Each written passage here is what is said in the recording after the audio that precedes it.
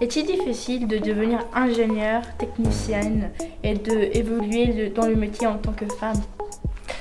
Euh, C'est de moins en moins difficile. En tout cas, les études sont ouvertes à tous et toutes sans limite. Donc tu peux le faire que tu sois une femme ou un homme.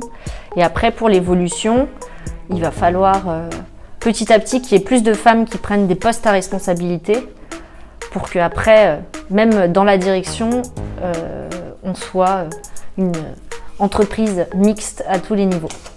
Ça, ça doit effectivement s'améliorer.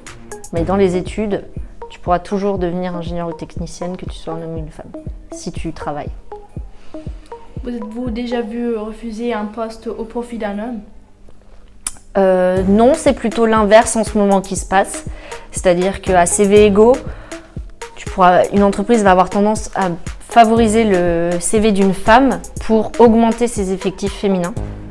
Donc euh, la porte est ouverte à toutes les femmes. Euh, quels sont les différents métiers qui s'ouvrent à nous dans l'industrie Je ne connais pas tous les métiers de l'industrie, mais euh, c'est le métier que j'exerce par exemple, les travaux, qui est un métier très masculin. Ça va être aussi l'aéronautique, les métiers du numérique énormément doivent se féminiser pourquoi un homme coderait mieux qu'une femme Il n'y a aucune raison pour laquelle quelqu'un, un homme serait moins plus fort en informatique qu'une femme. Et ça, c'est des métiers qui vont exploser dans l'avenir. Les applications, les programmes informatiques, tout ça. Dans combien d'hommes y a-t-il dans votre, équipe? Il n'y a que des hommes. Et j'ai une stagiaire femme, donc euh, j'espère qu'elle fera une belle carrière aussi un jour. Mais euh, sinon, il n'y a que des hommes sur le chantier. Vous vous trouvez bien à travailler avec eux Oui, ça se passe bien. Il peut y avoir des difficultés de temps en temps. Euh, mais euh, ce qu'il faut, c'est instaurer un dialogue euh, constructif, intelligent, et puis essayer de faire évoluer les mentalités si on tombe sur quelqu'un qui est réticent à, l'idée de travailler avec une femme. Et de toute façon, on doit tous travailler ensemble, sans discrimination de mixité ou sociale ou quoi que ce soit. Ne peut pas refuser de travailler avec une femme ou un homme. Qu'est-ce qui vous plaît de plus dans ce métier?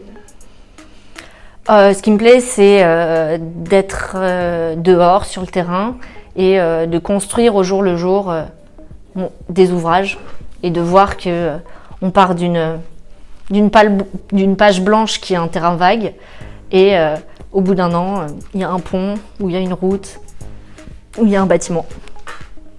D'accord. Est-ce que euh, vous pouvez euh, dire qu'est-ce que vous, la phrase ou un truc euh, qui vous tient à cœur et un message que vous voudrez faire passer aux jeunes filles Vas-y.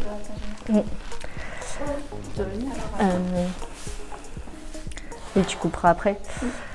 Il est important de croire en soi, croire en ses capacités, euh, de croire en ses capacités de faire des études euh, et de faire ce qu'on nous plaît et surtout de prendre le temps de choisir son orientation pour que euh, votre métier demain soit un métier qui vous plaise et pour lequel vous vous êtes battu pour y arriver. C'est ce qui prendra tout son sens quand vous aurez des difficultés dans votre métier futur, de réussir dans une voie que, que, vous avez choisie et pour laquelle vous vous battez au quotidien.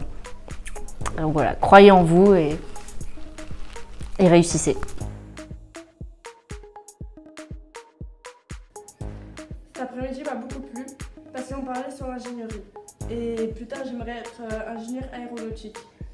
Et aujourd'hui, j'ai euh, appris euh, beaucoup d'informations qui m'aideraient peut-être un peu plus tard, ou sûrement. Et ça m'a beaucoup plu et j'aimerais vraiment qu'on en fasse souvent des après-midi comme ça. C'était Leslie et Anarita pour le Petit Coro TV. Ciao